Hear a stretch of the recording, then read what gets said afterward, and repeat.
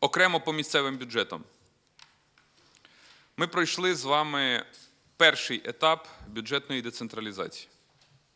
І тут треба також говорити виключно про цифри. Не про емоції, не про політичні гасла, а про те, скільки місцеві бюджети отримали додатково в порівнянні з минулим роком. Читаю. За січень-лютий до загального фонду місцевих бюджетів надійшло 13 мільярдів гривень, що на 25% більше, ніж за аналогічний період попереднього року. Усвідомлюю, що це далеко не межа. І завдяки нашій спільній роботі і реальній боротьбі з корупцією, запуску економіки, фінансовий результат буде кращий.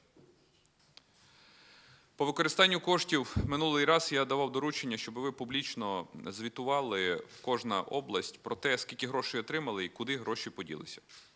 Поки що доручення не виконано, дорогі друзі, і просив би в місячний термін на сайтах обласних державних адміністрацій виконати доручення уряду і публікувати всю інформацію в щотижневому режимі, скільки грошей отримали і на які основні статті ви їх відправили, щоб люди бачили, що сплата податків в країні має конкретний результат. Десь відремонтували дорогу, десь відремонтували школу, там заплатили зарплату, пенсію, соціальні витрати. І прозорість використання державних грошей це також вимога сьогодення.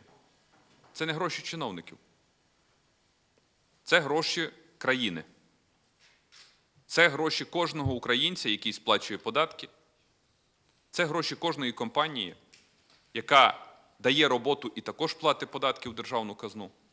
Це гроші, які повинні використовуватись на кожного українця і на відновлення держави в цілому.